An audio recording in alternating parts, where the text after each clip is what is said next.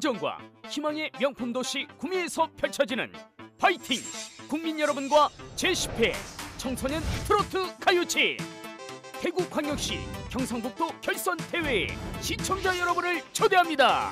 7월 21일 토요일 오후 1시 구미 금호산 공원 분수 광장에서 펼쳐지는 파이팅! 국민 여러분은 박남춘 향기의 사이로 김성우, 전철, 송란, 강철, 김채희, 전민아, 유미, 미녀와 야수, 맷돌, 정주성, 봉순, 조선희, 청호, 임태수, 김민정, 한소라, 신송, 정연순, 김원수, 홍장가, 송가인, 신나, 김미화, 행수기가 출연해 멋진 공연을 펼쳐드립니다.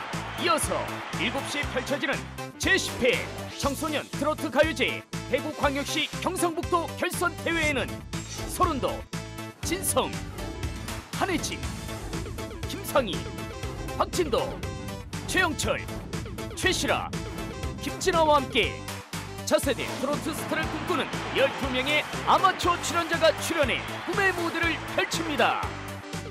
싱그러운 여름을 더욱더 시원하게 해줄 파이팅 국민 여러분 제10회 청소년 트로트 가요제 시청자 여러분의 많은 참여 바랍니다. 이 프로그램은 사단법인 한국연예예술인 총연합회와 함께합니다.